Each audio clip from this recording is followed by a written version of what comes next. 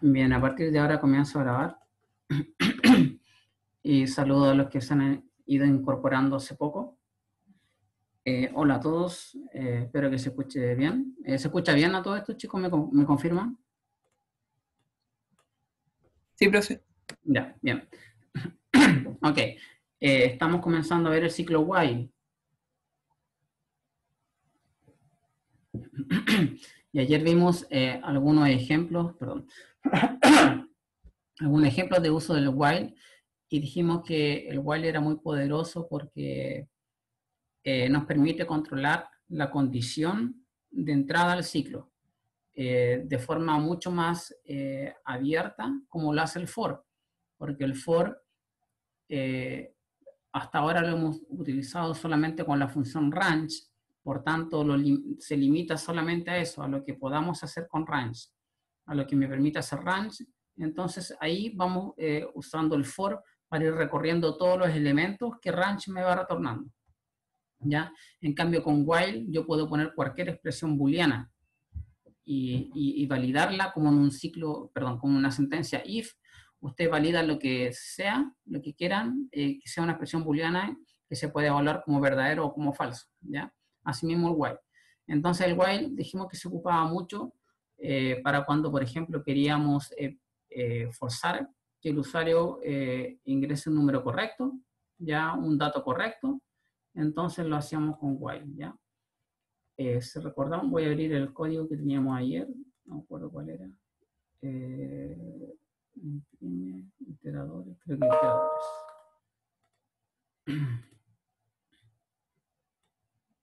Esto era lo que teníamos ayer, ¿ya? Entonces, acá estamos haciendo imprimiendo, este era a ver, letra programa cero secuencia, a ver.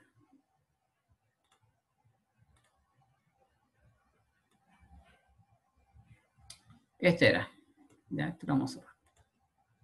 Esto es lo que, lo que nos quedó ayer, ya. Entonces, eh, teníamos que en nuestro PDF decía lo siguiente, eh, teníamos que ingresar un número positivo entre 0 y 50, ¿cierto? Perdón, dice positivo. Entonces no puede ser 0. Entonces nuestro código ya estaba, ya tenía un detalle, porque dice positivo, el 0 no es positivo. Por tanto, aquí tiene que ser menor o igual que 0, ¿ya? Porque si es 0 no me sirve, ¿ya? Si es 0, yo quiero que entre en el while y pida el ingreso de otro valor. Eh, delantero eh, mayor a 0 y menor o igual que 50. ¿Ya? Menor o igual que 50. O sea, entre 0, entre 1 y 50 en, realidad. ¿Ya? Y vamos a imprimir esta serie. ¿Ya? Entonces hemos dicho que lo podíamos hacer ambos con while, podíamos hacer esto que está acá, lo podíamos hacer con, con for también. Recuerden que leemos eh, el entero que el, usuario ingrese, forzamos que esté en el rango. Después de eso teníamos un contador que parte desde cero para imprimir el primer cero que está ahí, ¿ya? Y va a entrar al while mientras eh, c sea menor o igual que n. ¿Ya? Por tanto, si n, por ejemplo, es 10, eh, va a entrar con 0, 1, hasta el 10 inclusive, y va a imprimir la serie 0, 1, hasta el 10 inclusive. ¿Ya?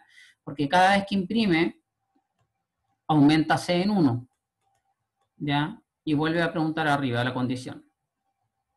Terminado de imprimir la serie, porque todo esto lo imprime en una sola línea, eh, le vamos a dar un Enter con print vacío. Esto fuera del while. El Enter yo lo quiero una sola vez, una vez que termine el while. No lo quiero dentro del while a cada rato. Y después de eso, le estamos preguntando al usuario si desea repetir la ejecución de este código, ¿ya? Si él dice que sí, entonces va a ir acá a validar al while arriba. Si la respuesta es sí, va a volver a hacer el mismo proceso, ¿ya? Esto lo habíamos ejecutado, ¿cierto? Eh, por ejemplo, con un 10 y imprimía de 0 a 10. ¿Desea repetir? Sí. Ingresar un número entre 0 y 50. Si ingreso 0 ahora, eh, me dice que el número tiene que estar entre 0 y 50, ¿cierto? O sea, mayor que 0. Si ingreso el 50, el, el 100, por ejemplo, también me fuerza a que el número sea correcto. Vamos a ingresar 30, y ahí está la serie desde el 0 al 30. Desea repetir, y acá le decimos no, por ejemplo. Y ahí termina la ejecución del código.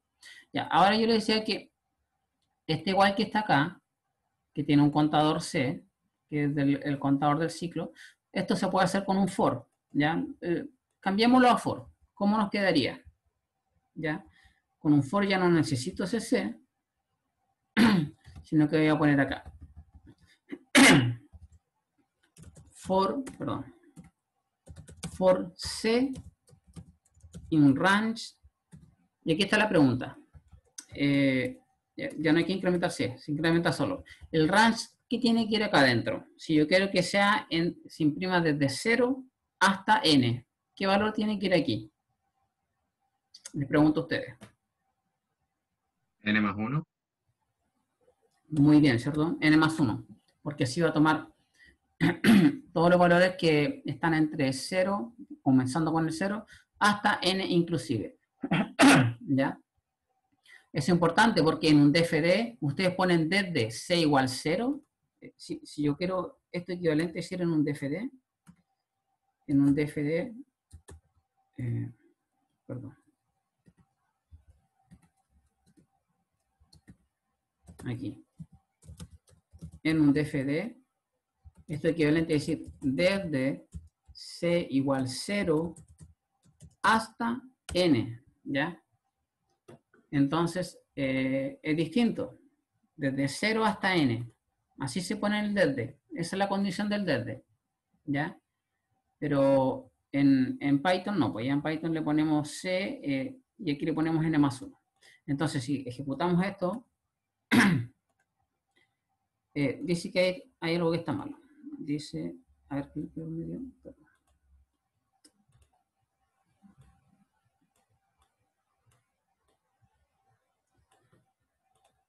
dice, ah, a ver.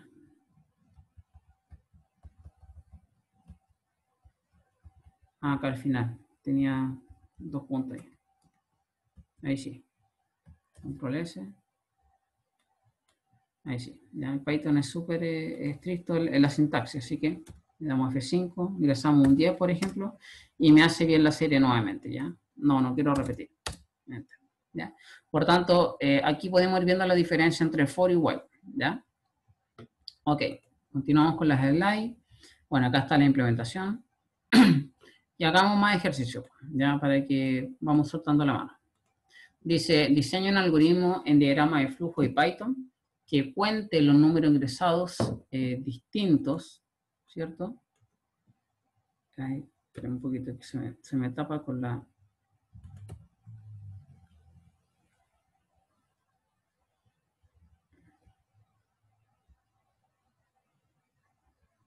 Bien. Acá. Se me tapa con la imagen del, del, Zoom. ¿Ya? Estoy grabando, ¿cierto? Sí, estoy grabando. Ya. Dice, un diagrama, un diagrama de flujo y Python que cuente los números ingresados distintos de cero. Ya eso es lo que no, no, no alcanzaba a leer. y el programa termine al ingresar cero, ¿ya? Entonces el usuario va a ingresar número, número, eh, infinitas veces, por decirlo, hasta que ingrese un cero. Y tenemos que contar cuántos números ingresaron. Ya, a ver, yo quiero que alguien me dé una idea de cómo podemos hacer esto.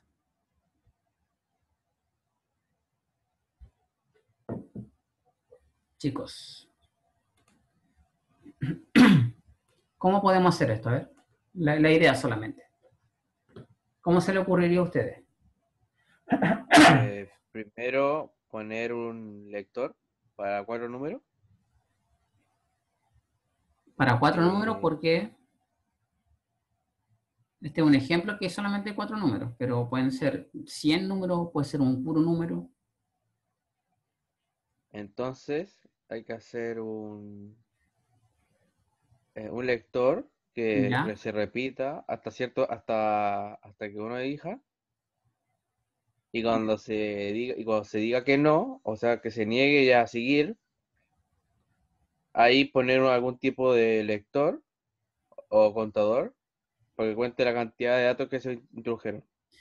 Ya, bueno, algunas cosas están bien, otras no. Bueno, el contador tiene que empezar desde el inicio, porque si no voy a perder todos los números que el usuario ya ingresó. ¿Ya? Esa es una. Lo otro es que yo tengo que ir leyendo mientras el usuario ingrese un número distinto a cero. Esa sería la condición. Eh, yo tengo que validar que el número que ingresa el usuario eh, es cero o no es cero, y si es cero, termina y imprime el mensaje final. Y si no es cero, tiene que seguir leyendo, ¿ya? Por tanto, a ver acá, eh, ¿podemos hacer esto con un ciclo for? Pregunta para ustedes. No. No, ¿por qué no? A ver.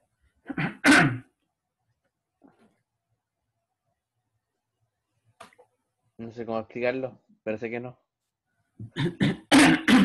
ya, eh, infinito? Claro, porque no, sabemos que eh, cuándo el usuario va a ingresar un cero, ¿cierto? Puede ser infinito, como por decir su compañero, puede estar toda la vida ingresando número y ninguno es cero. Por tanto, el for no, lo podríamos parar ahí. Aunque existe una forma, que no la vamos a ver ahora todavía. ¿Ya? Esperemos un segundito. Eh, tenemos el código. Vamos a comentar esto que está aquí. 2, 3. 1, 2, 3. Y aquí arribita vamos a trabajar, ¿ya? Entonces nosotros tenemos que iterar mientras el número eh, sea distinto de cero, ¿cierto?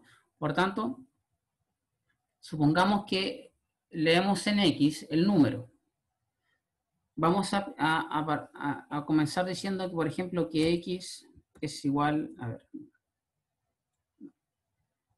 vamos a comenzar, ¿cierto? Hay que leer un número. Entonces vamos a decir que x es igual a int input, suponiendo que estamos leyendo entero, le vamos a escribir acá al usuario ingrese un número, ¿ya? Y se lee el número.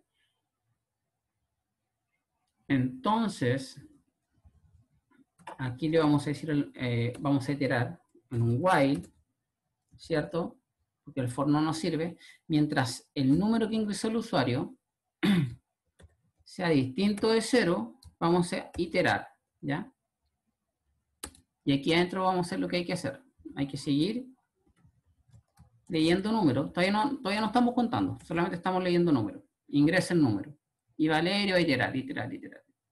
Cuando el número sea cero, va a salir, ¿ya? Esas tres líneas que están ahí ya hacen esto que está acá, pero no está contando. Si ejecutamos eso, ¿ya? Ingresa un número, por ejemplo, 4, 3, 6, 2, etc. ¿Ya? Podemos estar infinitas veces ingresando números hasta que ingresamos un 0 y va a terminar. ¿Ya? Entonces quiere decir que el while está funcionando bien. ¿ya? Esto está bien. Entonces acá ya tenemos la parte de ingresar el número, lo tenemos. Nos falta el último mensaje y, contar cuántos números fueron distintos de cero. ¿Ya? Por tanto, eh, necesitamos un contador, ¿cierto? Necesitamos un eh, contador, le vamos a poner cero. Y como el número es distinto de cero, va a entrar al while, le va a poner cont es igual a cont más 1. Estoy contando un número distinto de 0. ¿Ya? Cuando salga del while, lo único que me resta es imprimir lo que tiene el contador. ¿Ya? Entonces hacemos print. Y le ponemos, ingresaron. Ahora hay que poner el contador. Cont. Números distintos a 0. ¿Ya? Y eso sería todo. Eso sería todo. ¿Ya? Entonces, noten que el contador comienza de 0 y lee X. Si X es 0, el contador nunca se cambió. Por tanto, y tampoco al while. Entonces aquí va a imprimir un 0. Que se, se ingresaron 0 números distintos de 0. Ahora, si el número es distinto de 0, ahí lo cuenta dentro del while. El while cuenta solamente número distinto de cero, porque la condición es que el número sea distinto de cero. ¿ya? Entonces ejecutamos eso, e ingresamos un número, por ejemplo, el 0. Se ingresaron 0 números distintos a 0. Está bien. No se ingresó ningún número distinto a 0. Volvemos a ejecutar. Ingresamos un número 1, 2, 3, 4, 5, 6, 7, 8, 9, 10. Y ingreso un 0 ahora. Se ingresaron 10 números distintos a 0, ¿ya? Entonces está funcionando bien nuestro, ciclo while y nuestro contador. ¿Bien? ¿Alguna duda con esto, chicos? Miren, yo estoy, voy a dejar el código ahí. Eh, la idea es que ustedes estén, con el IDL también trabajando, ¿ya? Porque eh, yo insisto que esto es como el cálculo. Eh, yo recuerdo que veía al profesor que hacía todas las cosas en la pizarra y las entendía todas. Pero cuando yo estaba solo y los trataba de hacer, venían los problemas. ¿Por qué? Porque eh, los problemas uno, uno lo encuentra cuando se mete las manos en el asunto, ¿ya? Entonces, mientras ustedes no metan las manos en esto, va a ser muy lento su, su, su codificar, ¿ya? Su programación va a ser muy lenta y eso se va a notar en la evaluación y le va a faltar tiempo. Noten que esta, eh, cuando ustedes ya tienen práctica, un poco de práctica, esto es sumamente rápido hacer todas estas cosas. Por eso Python es bueno en estas cosas, pero se, se obtiene eso solamente con ejercicio. Así que ustedes tienen que ir conmigo a la par haciendo todo lo que yo estoy haciendo. Por si acaso. ¿ya? Bien, continuamos. A ver, ¿qué hiciste de acá? dice, diseñe un algoritmo, ah, pero dice diagrama de flujo. Este de aquí vamos a partir con el diagrama de flujo. Lo vamos a hacer al revés. Pero este de acá también lo vamos a traducir a, diagrama de flujo. Entonces no avancemos todavía. ¿Cómo hacemos eso en un DFD? Ya, lo vamos a hacer. Eh, lo vamos a hacer en Draw Input Output, ¿cierto? Ya. Crea un nuevo diagrama.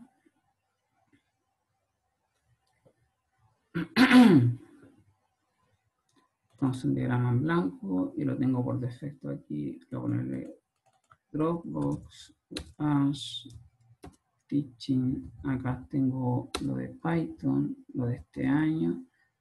Y aquí vamos a poner el DFD. Vamos a poner eh, DFD. Eh, este es eh, número distinto 0. Así lo voy a llamar. Un distinto 0. Ok. Entonces, obviamente comenzamos con, con nuestro inicio y va a tener nuestro fin, ¿cierto? Después le agregamos el fin. Inicio. Acá ustedes también podrían ir haciendo esto mismo si quieren. Eh, y tenemos nuestro código ahí, ¿ya? Ya, lo primero que hay un proceso, dice cont igual 0, ¿cierto? Eso va a ir en un proceso. y va a estar ahí, cont igual 0, ¿ya? Entonces eso va a estar ahí. Eh, ¿Se ve bien o se ve muy chico para agrandar la letra, chicos?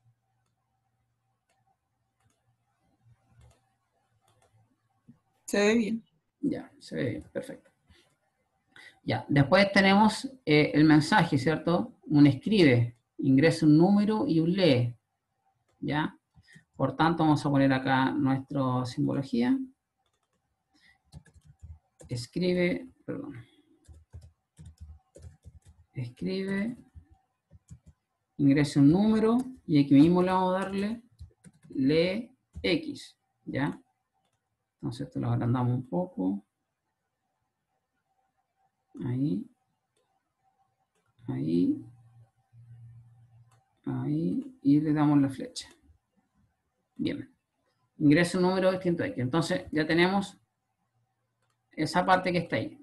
Ahora viene el ciclo while. Y sabemos que la simbología y la condición. Que X sea distinto a 0. Copiamos la condición. Y nos vamos al ciclo while, que lo tenemos, el símbolo que es este que está acá. ¿Cierto? Lo ponemos ahí. Ponemos la condición. Está muy grande por ahí.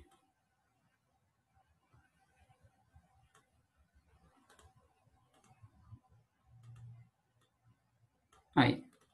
Y ahí está nuestro ciclo while. ¿Ya? Eh, ahora, ¿qué es lo que viene? Viene otro proceso, cont es igual a cont más 1, entonces vamos a copiar este que está aquí, control C, control V, ¿ya? Y eh, lo voy a poner acá al lado, ¿ya? Para que no me quede tan, tan largo hacia abajo, el, el DFD. Le dice cont es igual a cont más 1, ¿ya? Eso. Después dice, hay que volver a leer entonces copiamos el mismo está aquí, control C, control V. Lo copiamos aquí.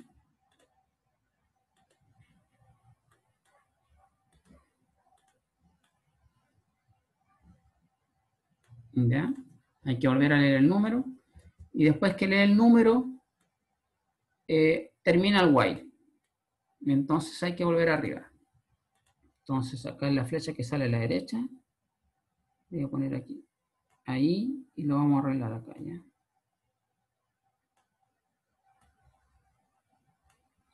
Ahí, ¿ya? Entonces, noten que, perdón, me equivoqué, pues. ¿eh? La flecha tiene que ir aquí. Ahí.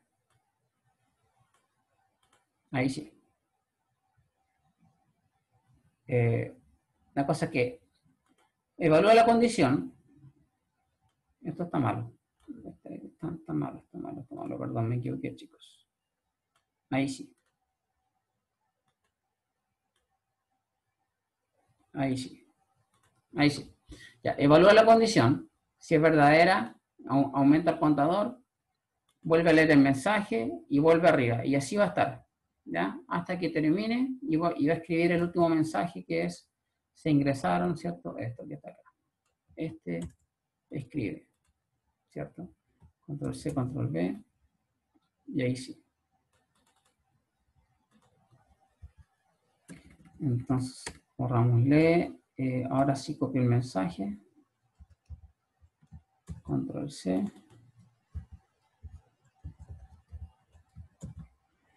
Ahí está, él escribe eso.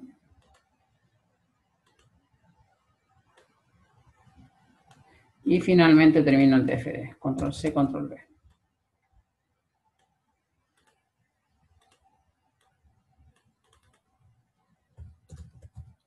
¿Ya? Entonces, ese sería nuestro DFD. Eh, esto es solamente traducir de acá a allá. Noten que es bastante sencillo. Traducir eh, un Python a DFD. Ahora, a veces resulta un poco más complicado cuando hacemos el DFD desde cero. Y eso es lo que vamos a hacer con el siguiente ejercicio, ¿ya? Vamos a guardar este. A ver, eh, export as, png, export. No guardar acá. Me queda guardado, si más. Ya. Ahora, hagamos el siguiente ejercicio partiendo del DFD. Este que está aquí. Dice, diseño un DFD y luego Python eh, que repita el ingreso de valores enteros hasta que la suma de los números ingresados sea mayor a 100. ¿Ya? Entonces, es parecido al que está acá, porque hay una condición que con los números que se ingresan, acá también hay una condición con los números que se ingresan. Acá se contaban, ¿cierto? Y, y terminaba si el número ingresado, el último número ingresado era cero. Acá no, acá se van a ir acumulando en una suma hasta que la suma sea mayor que 100 y, se imprime la suma. ¿Ya? Por tanto, esto también puede ser una iteración, digamos, infinita, porque si el usuario ingresa puro cero, ingresa número negativo, la suma nunca va a dar, eh, va a dar 100, nunca va a dar el 100. Entonces, eh, depende de lo que el usuario ingrese. ¿ya? ¿Cómo lo haríamos con DFD entonces? con DFD vamos a ocupar este mismo que está acá, ¿ya? y tenemos, eh, ya no va a ser un contador, sino que le vamos a llamarle suma para los números que se ingresan. ¿Ya? Y los números que se ingresan son, todos dentro del while, por tanto, esto de aquí lo vamos a borrar. ¿Ya?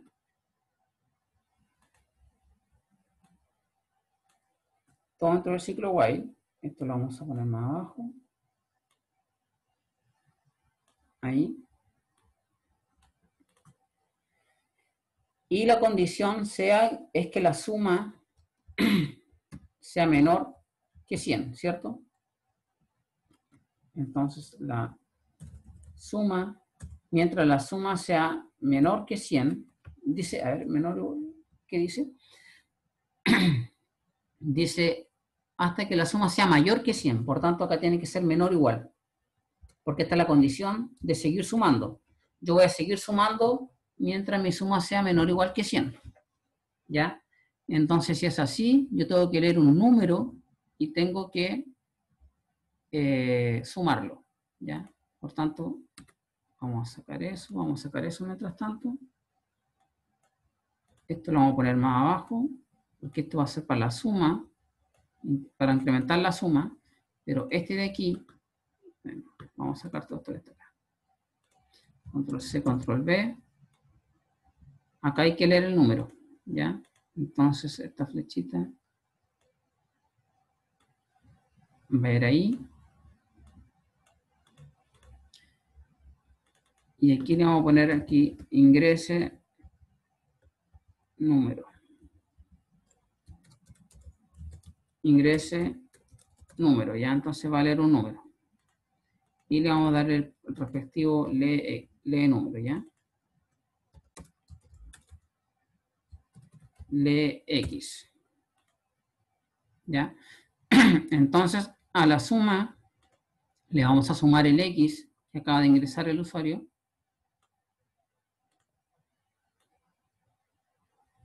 Le vamos a decir aquí. Eh, suma es igual a suma más X. estamos sumando el X.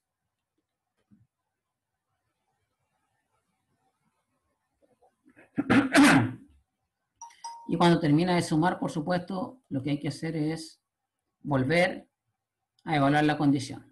¿Ya?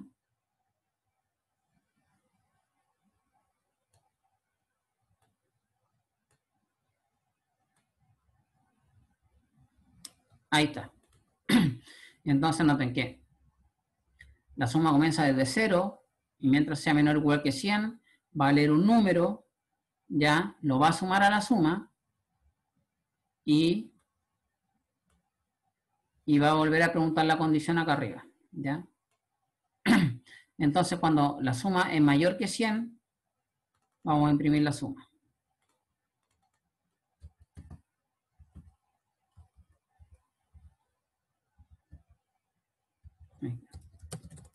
La suma es suma.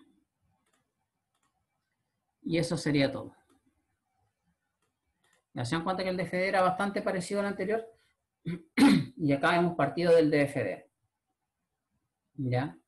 Eh, consejo, en, si en una evaluación se les pide eh, un DFD, a menos que ustedes sepan usar ya bastante bien este programa, yo, yo les recomiendo que lo hagan con, con papel y lápiz.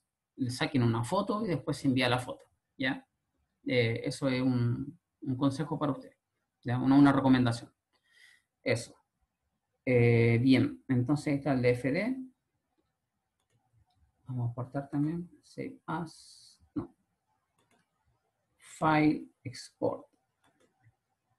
PNG export. Device. Bien.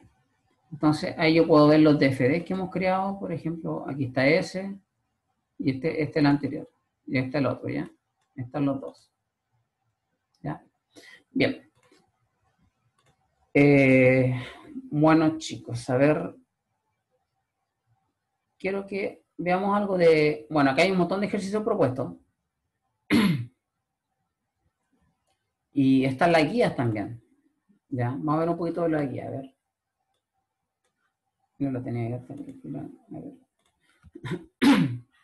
Mire, esta es la guía cero. El guía cero tiene un montón de cosas para que ustedes hagan y hagamos este ejercicio que está acá para terminar la clase. Dicen, escriba un programa eh, en Python, ¿ya? que imprima la serie Fibonacci entre 0 y 50. La serie Fibonacci se, se, se, se escribe de la siguiente manera. Vamos a decir que Fibonacci, si el número es 1, o sea, si quiero un puro término de la serie, el primer término de la serie es 0. El segundo término de la serie es 1. ahí. ¿Dónde está? Era el 6. Acá está. El tercer término de la serie es 1 y así. 0, 1, 1, 2, 3, ¿ya? Etcétera. Eh, ¿Qué quiere decir esto? Que 0 más 1 me da 1. 1 más 1 me da 2. 2 más 1 me da 3. 3 más 2 me da 5. 5 más 3 me da 8. Y así. Es decir, no tiene acá. Fibonacci del primer número es 0. Fibonacci del segundo número es 1. Ahí están los dos primeros. Fibonacci de n para un número mayor que 1 o 2 va a ser Fibonacci de n, n menos 2 más Fibonacci de n menos 1. Es decir, la suma de los dos anteriores. ¿Cómo podríamos hacer esto? ¿Ya? Noten que eh, a mí me van a dar el, n. Por ejemplo, si, si el n vale 4, 1, 2, 3, 4, debería imprimir un 2.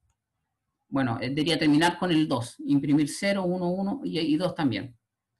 Si me dan un 6, debería imprimir 2, 4, 6, esos 6.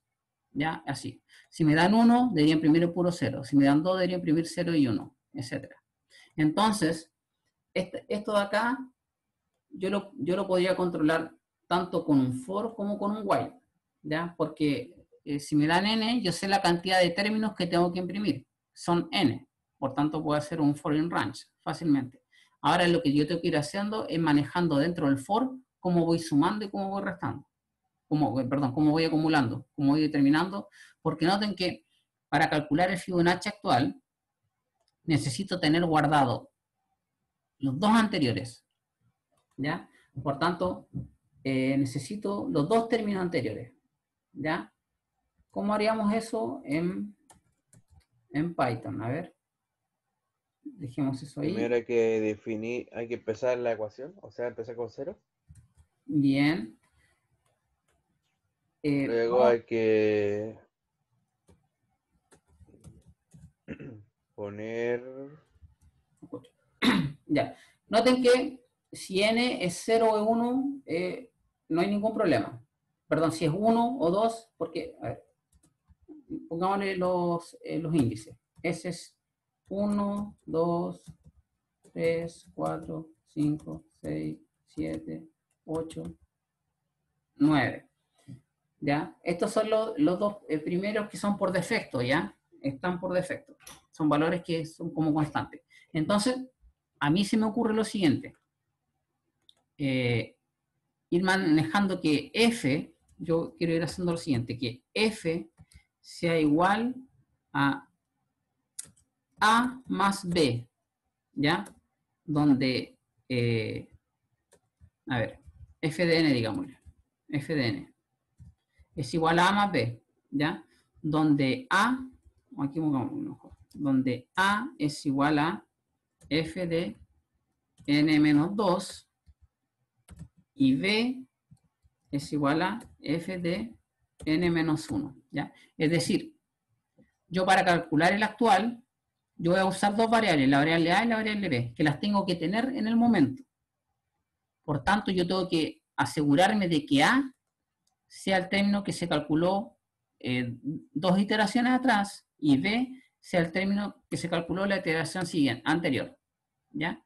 Entonces, yo voy guardando A y B de esta forma y calculando F. ¿Ya? Entonces, vamos a llamarle F es el Fibonacci. ¿Ya? Y tenemos que A vale 0, eh, que es el primero, y B vale 1, que es el segundo, ¿ya? Y le vamos a decir acá al usuario, ingrese n, ¿ya? Vamos a leer n, vamos a poner aquí n, perdón, n igual ingrese n, ¿ya? Entonces, vamos a preguntar, si, noten lo que vamos a hacer, si eh, n es menor o igual que 2, 1 y 2, ¿ya? Esto va a terminar inmediatamente. Y vamos a decirle así. Eh, si, eh, a ver. A ver. Si n, si n, perdón, si n es igual a 1, vamos a imprimir, vamos a hacer que f es igual a a. El if n es igual a 2. Esto es lo que se está ocurriendo a mí, pero ustedes lo pueden hacer de otra manera, pues, f es igual a b, ¿ya? Y else, entonces quiere decir que n es más grande que 2. Por tanto, aquí voy a tener que iterar. ¿ya? ¿Y cómo lo hago? ¿Cómo itero en esto? Entonces acá necesito un ciclo. Necesito un ciclo for, por ejemplo. For eh, i in range. A ver. Yo ya acá, mi f, yo tengo a y b, entonces acá yo voy a calcular el término, el tercer término.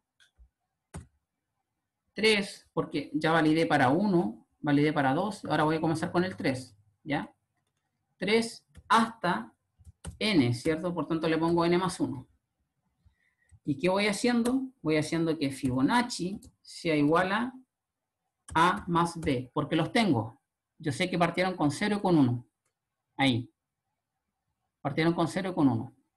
Después de sumarlos, yo voy a hacer lo siguiente. Yo quiero que eh, recuerden que A es igual a F menos 2 y B es igual a F menos 1. Por tanto, hay que actualizar. Entonces, hay que hacer eh, A igual a B y B igual a F. Eso. A es igual a B, se actualiza, y B es igual a F. ¿Para qué? Para que en la siguiente iteración note que B va a tener el término anterior, el que yo quiero, f-1. ¿Se dan cuenta? A y B van, a ir cambiando. Vamos a hacer la tabla de ejecución de esto y se va a entender mucho mejor. Ya, tranquilo con esto. Entonces, eh, y eso es todo. Terminado eso, yo voy a imprimir el mensaje acá. Un, print. Lo vamos a ejecutar y vamos a hacer la tabla de ejecución, ¿ya? Eh, Fibo Nachi de n, ¿ya? Es igual a f. Y eso sería todo. Creo que debería estar bien. ¿Ya? Así que eh, veamos. Control S, vamos a dar F5. Y aquí tenemos. Por ejemplo, Fibonacci de 1 debería darme 0, ¿cierto? Fibonacci de 1 tiene que darme 0. Vamos a checar esto. Fibonacci de 1 me da 0. ¿Está correcto? F5. Perdón, F5. Fibonacci de 2 tiene que darme 1, ¿cierto? Está correcto. Fibonacci de, de 3 también debería darme 1. F5, Fibonacci de 3, también me da 1. Si doy otro más largo, por ejemplo, Fibonacci de, de 8 debería darme 13. Y me da 13. ¿eh? ¿Se dan cuenta? Porque va actualizando esto. Si hacemos la tabla de ejecución de esto, mira, vamos a hacer la tabla de ejecución. Vamos a salir aquí. Porque la ejecución nos ayuda a entender bien cómo está trabajando el algoritmo. Tenemos eh, las variables A,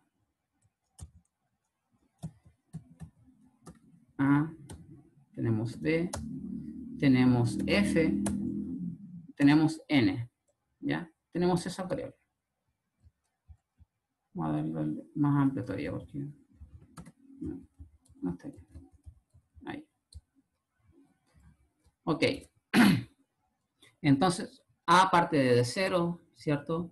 y B parte desde 1, como está acá.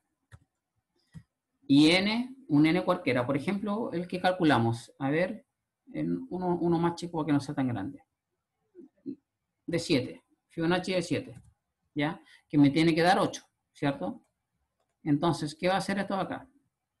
Dice, está esto, lee el n, pregunta, ¿n es igual a 1? No, no es igual a 1. Eh, n es igual a 2, tampoco. Entonces, n es mayor que 2, ¿cierto? Y va a entrar acá. Tenemos la variable i. Tenemos la variable i. Entonces, ahí está la variable i.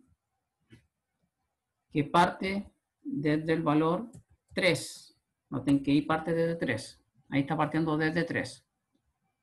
Y hace f es igual a a más b. Entonces, a más b, 0 más 1, 1. Entonces, f tiene un... Aquí vamos a poner la línea siguiente. f tiene un 1. Ya estoy poniendo todo en la misma línea, aquí, pero... Eh, a ver, mejor hagámoslo ordenadamente, si no se van a confundir en las evaluaciones. Dice a igual 0, b igual 1, después lee n, leemos un 7, y después entramos en el for, y vale 3, ¿ya? Así, ahí estamos ordenados, ¿ya?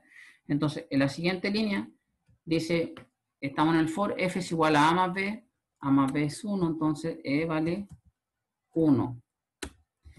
Y dice a es igual a b, es decir, a vale 1, B es igual a F, B vale 1. Y nos vamos a la siguiente iteración. Y aumenta en 1. Y aumenta a 4. ¿Ya? Como todavía no llegamos a 7, seguimos iterando. Vamos a sumar recién el 4. Dice F es igual a A más B. F es igual a, perdón, aquí le puse B igual a F y, y F valía 1. ¿Ya? Ahí sí. F es igual a A más B. Entonces, eh, ¿cuánto vale A más B? 1 más 1 es 2. Entonces, F vale 2. A es igual a B, A vale 1, y B es igual a F, y F vale 2. Y va a la siguiente posición, al siguiente valor, perdón, que es 5. Entra en el forno de nuevo, F es igual a A más B, 2 más 1 me da 3. A es igual a B, es decir, 2. B es igual a F, que vale 3. Y va al siguiente valor, que es 6. Entramos al for nuevamente. F es igual a A más B. 2 más 3 me da 5. A vale B, que vale 3. Y E vale F, que vale 5. Y tomamos ahora el valor 7. Este es el último valor. 7. Dice eh, F es igual a A más B. 3 más 5 me da 8. A es igual a B, que vale 5. Y B eh, es igual a F, que vale 8. ¿Ya? Ya, vamos a hacer un alcance acá. Entonces, ahí, y ahora termina, porque ya llegó al 7, e hizo lo que tenía que hacer con 7, y va a imprimir eso. Imprime F, que vale 8. Ya, perdón, acá está f. f que vale 8. Y es lo que queríamos. Para n igual 7 el valor es 8. ¿ya? yo hice la tabla de ejecución así. Yo le digo, para mí no hay ningún problema si usted me entrega la tabla de ejecución así, por ejemplo. Esto, eh, esa, y disminuye las líneas porque así le sale más corto también. ¿Ya? Mientras no se pisen los valores, ahí, ¿ve? Ahí. Entonces, ahora toma un nuevo valor. Eso eso, y ahí está con el 4. Acá hay otra fila, ¿ven? Ahí está el 2. Eh, el 1 sigue. Algo así. Así. Así. Entonces, esto no se pisa, entonces eh, no hay ningún problema en hacerlo así. No hay ningún problema en hacerlo así. ¿ya? Entonces, si me entrega la tabla así, no hay ningún problema, porque no se están pisando. Entonces, y así ahorran un poco de filas. Bien. Consulta, ¿se entiende cómo hemos resuelto Fibonacci?